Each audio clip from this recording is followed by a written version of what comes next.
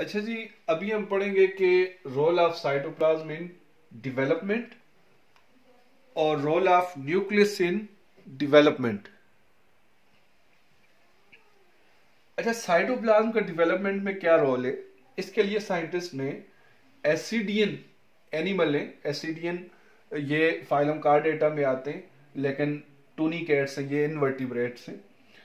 तो एसिडियन का जो एग होता है फर्टिलाइज एग उसमें नॉर्मली फोर डिफरेंट टाइप का साइटोप्लाज्म होता है। न्यूक्लियस तो ज़ाहिर एक ही होगा, लेकिन साइटोप्लाज्म फोर डिफरेंट टाइप होता है। क्लियर साइटोप्लाज्म होता है एक साइड फिर येलो साइटोप्लाज्म होता है ग्रे इक्वेटोरियल साइटोप्लाज्म होता है और ग्रे वेजिटल साइटोप्लाज्म होता है। इसमें हम डिफ्रेंशिएट कर सकते हैं। अच्छा साइंटिस्ट ने कहा इसमें तो साइटोप्लाज्म का रोल स्टडी करना बहुत ही ईजी है। कैसे ईजी है? कि जब क्लीवेज होगी, यहाँ बहुत सारे ब्लास्टोमर बनेंगे, इधर भी हर जगह बहुत सारे ब्लास्टोमर बनेंगे, ये समझे।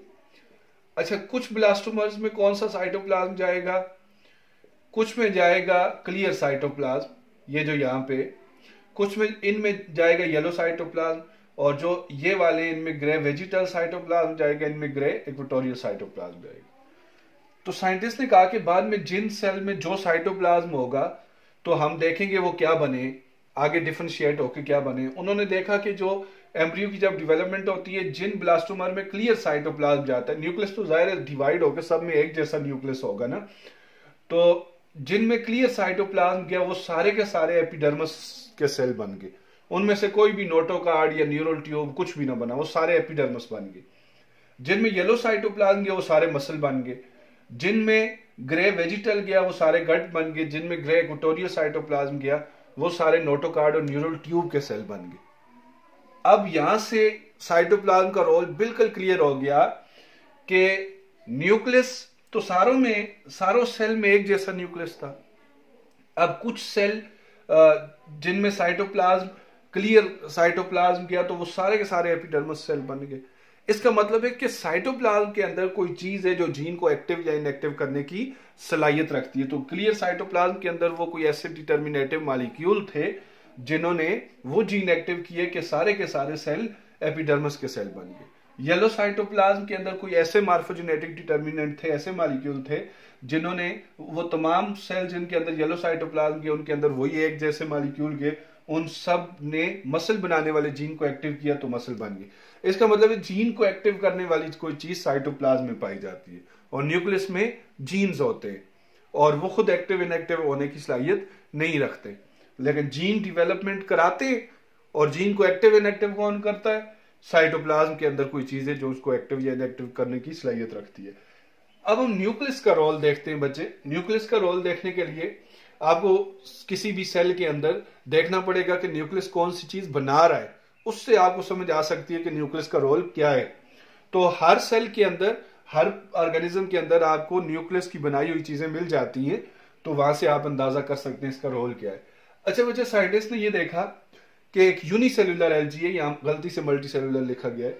ये यूनिसेलुलर एलजी है, लेकिन सेंटीमीटर्स में इसका साइज़ होता है, काफ़ी बड़ा साइज़ है इसका।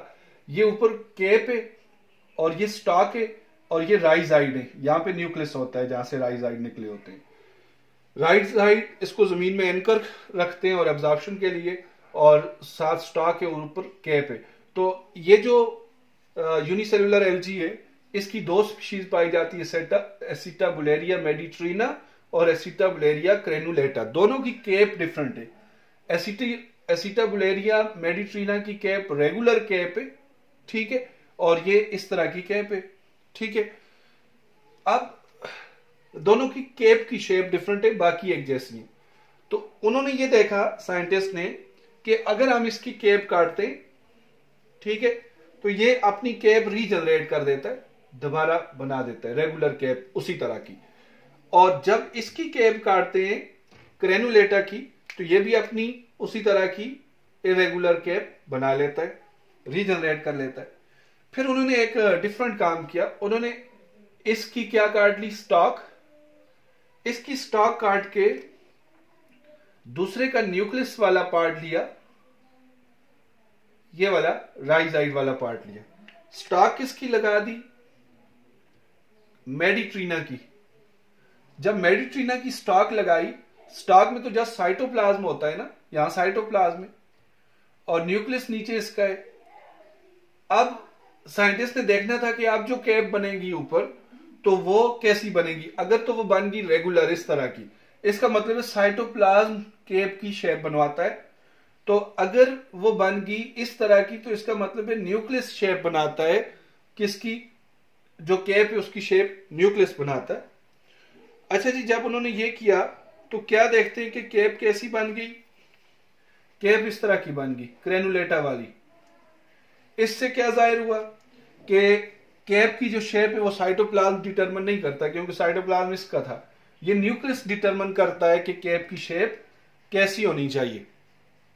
अच्छा जी, फिर उसने क्रॉस चेक करने के लिए, क्या ये बात वाकई ठीक है? उसने इसकी स्टॉक ले ली न्यूक्लियस ले लिया इसका मेडिट्रीना का, और स्टॉक ले ली क्रेनुलेटा की। जब ये स्टॉक ली तो देखता है कि अब उसने कहा कि साइटोप्लाज्म मैंने इसका ले लिया है न्यूक्लियस इसका ले लिया है तो आगे कैप कैसी बनेगी? तो रेगुलर कैप बन गई। यहाँ से ये कंफर्म हो गया कि जो कैप की शेप है, कि कैप कैसी बनेगी, वो न्यूक्लियस डिटरमिन करता है। न्यूक्लियस इसका था तो कैप रेगुलर बनी, न्यूक्लियस इसका था तो कैप इरेगुलर बनी। अब साइटोप्लाज्म क्या करता है? तो यहाँ से ये बात समझ आ गई कि जब तक साइटोप्लाज्म होता नहीं है तो कैप बनती भी नहीं है।